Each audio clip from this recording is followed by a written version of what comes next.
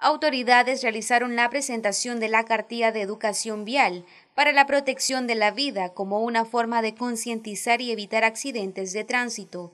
¿Para qué estamos lanzando esta cartilla? Porque nosotros todos queremos eh, prevenir los accidentes de tránsito. La pregunta más importante, ¿se pueden evitar los accidentes de tránsito?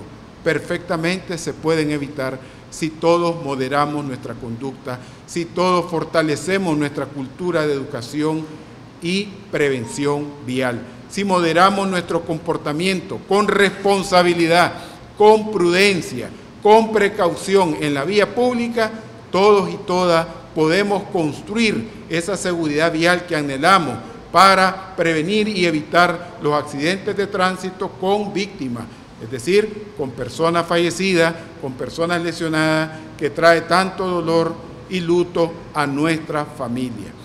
El más reciente informe de accidentalidades contabiliza 690 accidentes, 16 fallecidos y 54 lesionados. Las principales causas continúan siendo el estado de embriaguez y el exceso de velocidad. A lo que realiza Tránsito Nacional en el servicio a la población. En 91 municipios del país no se registran personas fallecidas en accidentes de tránsito.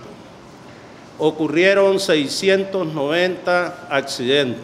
Resultaron 16 personas fallecidas y 54 lesionadas. En relación a la semana anterior, se disminuyó en una persona fallecida y en 171 colisiones menos. Dentro de los afectados, nosotros contabilizamos 10 conductores muertos, 5 peatones y un pasajero. Las principales causas de los accidentes de tránsito con fallecidos, 7 por estado de embriaguez, 5 por exceso de velocidad, 4 por otras causas.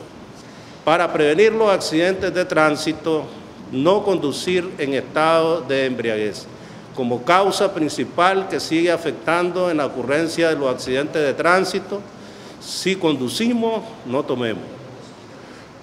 Respete los límites de velocidad y las señales de tránsito. Revise el estado mecánico del vehículo, frenos, llantas, parabrisas, luces y pidevía. Utilice los dispositivos de seguridad, triángulo, cono, cinta reflectante cuando su vehículo tenga desperfectos mecánicos y sacarlo fuera de la vía.